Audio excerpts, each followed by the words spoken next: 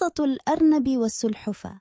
قصة مصورة قصيرة. في يوم جميل ذهب الأرنب إلى الغابة للبحث عن الجزر. وجد الأرنب جسرا صغيرا فوق النهر. وجلس يتأمل به. وقام يمشي على الجسر. وتحته النهر. وينظر إليه. في الغابة التقى الأرنب بالسلحفاة وقاموا بالتحدث معا والأشجار والأزهار حولهما وهما سعيدان للغاية.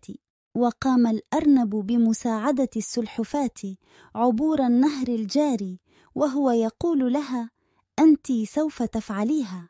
احتفل الأرنب والسلحفاة معا في الغابة الخضراء وهما سعيدان جدا بصداقتهم.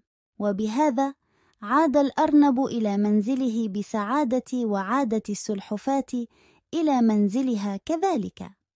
وكان الجو جميل.